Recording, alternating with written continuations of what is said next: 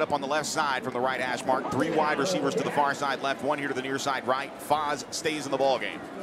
Ehlinger with the shotgun snap. He's back to pass. Looking, has time. Now flushed and steps up. Fires over the middle. That pass is caught by Reed Klubnik. Klubnik has the ball, and he is inside the 21-yard line.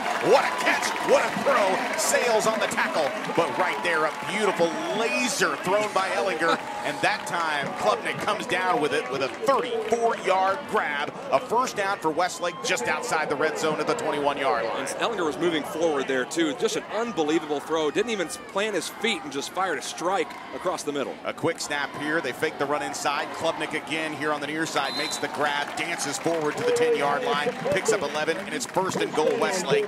Ebo and Barnes on the stop, and the Westlake Chaparrals going right back to work, trying to hammer one of those nails in the coffin, trying to get on the board.